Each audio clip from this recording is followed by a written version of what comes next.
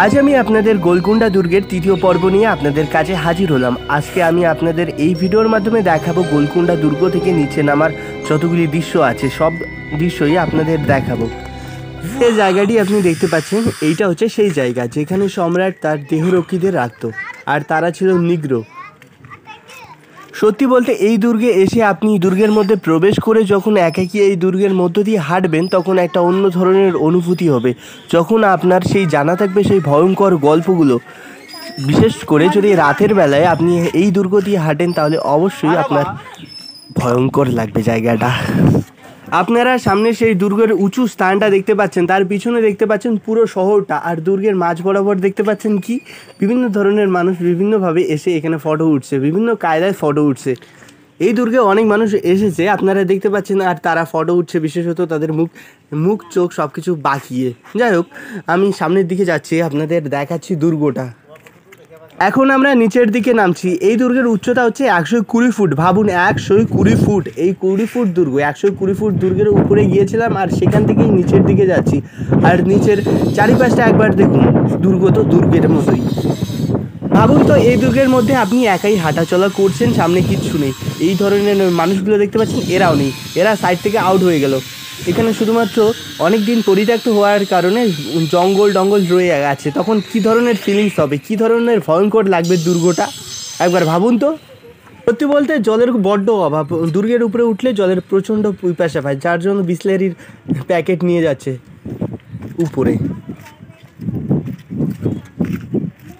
এখান থেকে আপনি শহরের ভিউটা দেখুন। দেখুন না শহরের ভিউটা দেখলে মনে হয় পুরো টাকা উসুল হয়ে গেছে। এখানে আসলে সত্যি বলছি, মন প্রাণ খুলে আপনি নিঃশ্বাস নিতে পারেন, একটা স্বস্তির নিঃশ্বাস নিতে পারবেন। আর সামনে কারাগারের অবস্থা দেখুন, কারাগারের গ্রিল দেখুন। সময়ের সাথে সাথে এখন পরিবর্তন হয়েছে, অল্প একটু হলেও পরিবর্তন হয়েছে, ইতিহাসের নিয়মে এইটা, যে সময়ের সাথে সাথে পরিবর্তন হবে, তবুও কারাগারগুলি দেখুন।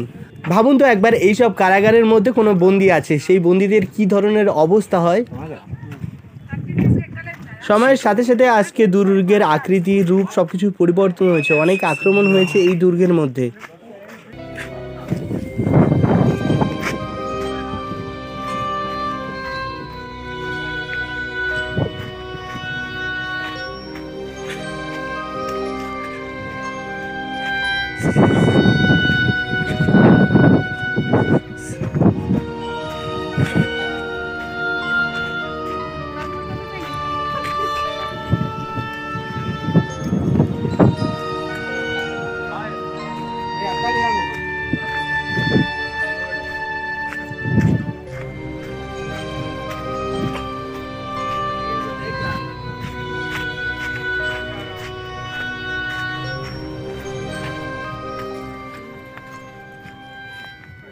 জয় বজরং বলি যাই হোক সামনে একটু যাওয়া যাক গেটটা দেখতে পাচ্ছেন?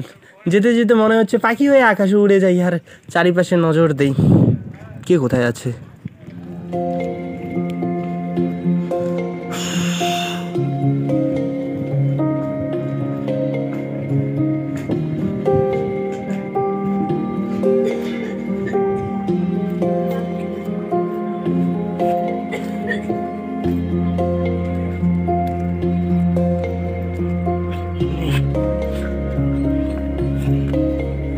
পাথরের তৈরি এই সিঁড়ি দিয়ে নামতে নামতে মনে হচ্ছে যদি বুড়ো বয়সে এই সময় হাঁটতাম। অর্থাৎ বুড়ো বয়সে ইচ্ছা জাগতো এই দুর্গে আসার, তাহলে আমার অবস্থা কি ধরনের হতো একবার ভাবতে পারছেন? একটু চড়তাম আর হাঁপাইতাম, একটু চড়তাম আর হাঁপ পাইতাম এর থেকে আর বেশি কিছু হতো না।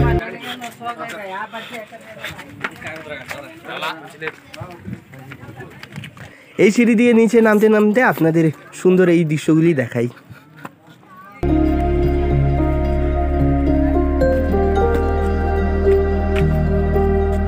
অতীতে ব্যবহৃত কিছু কামান এখানে আছে, সেই কামানগুলি আপনাদের দেখাবো। তাহলে চলুন সেই কামানগুলির কাছাকাছি। সামনে যে আপনি কামান গোলাটি দেখতে পাচ্ছেন, যেখানে চিন্টু বসে আছে। চিন্টু বলতে এই ছোটো বাচ্চাটিকে বললাম। যাই হোক, এই কামান গোলাটি নাকি লোহার তৈরি। এই যে আপনি কামানটা দেখতে পাচ্ছেন, এই কামানটি নাকি সোনার তৈরি। দেখতে পাচ্ছেন, সোনালি রং। যদিও ঢেকে দেওয়া হয়েছে একটা আবরণ, হয়তো কিছু লোহার আবরণ আছে, যার জন্য স্পষ্ট বোঝা যাচ্ছে না। আর এই কামানগুলাটিকে সামনে কাটা হয়েছে। এখানে এসে জানতে পারি এই কামানগুলাটির সামনের অংশ চুরি করার জন্য কাটা হয়েছে। অ্যাকচুয়ালি সত্যিটা কি আমি সেটা জানি না। দেখতে পাচ্ছেন কামানগুলাগুলি সবগুলি সামনের দিকে মুখ করে রাখা হয়েছে। আর কেউ কেউ এসে তো কামানগুলার উপর বসে পা দোলাচ্ছে। মনে হচ্ছে জীবনের চরম সুখ এখানেই পাচ্ছে। এত দূর আসার পর সামনের ছাদে উঠে যদি কিছু না দেখি, তাহলে জীবনটাই বেথা। অর্থাৎ আশাটাই বেথা তাহলে চলুন সামনে যাওয়া যাক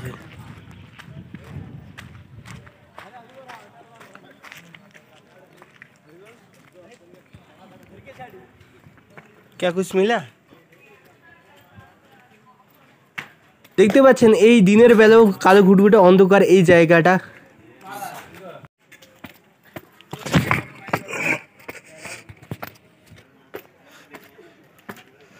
এই সুড়ঙ্গ দিয়ে একই সঙ্গে দুজনের বেশি যাওয়া যাবে না দেখতে পাচ্ছেন কতটা সংকীর্ণ সুড়ঙ্গটা ডর নেই লাগতা ऊपर जाना बैठ के देखें और चढ़ते हैं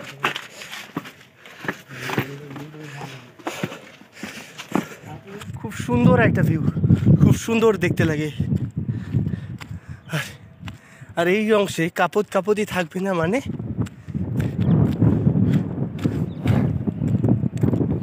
সামনে হয়তো ছেলেটা মেয়েটাকে বলছে, তোর লাইগা পুরো শহরটা কিনে লেব?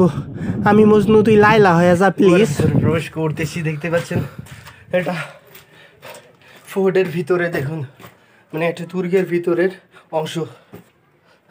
কত যে সুড়ঙ্গ আছে যে তৈরি করছে, তারা জানে।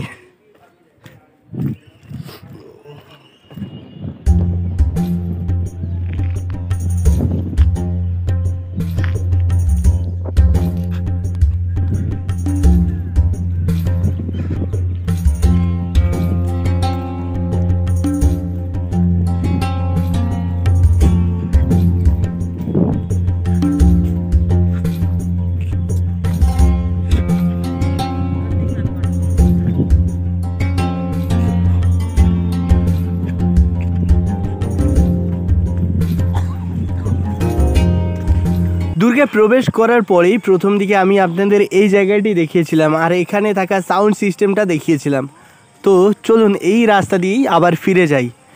তার আগে আপনাদের কিছু কক্ষ দেখাবো। তাহলে চলুন সামনের দিকে যাওয়া যাক।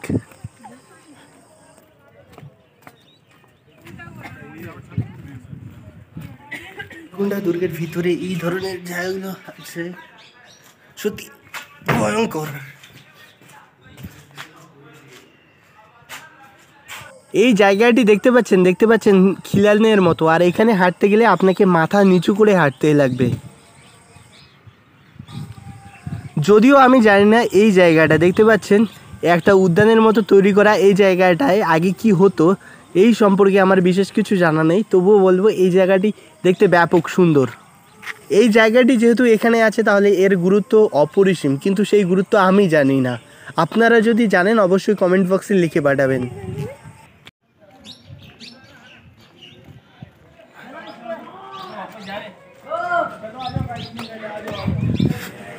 আবার দরজার সামনাসামনি আসলাম। এখানকার সাউন্ড সিস্টেমটা একবার দেখে নিন।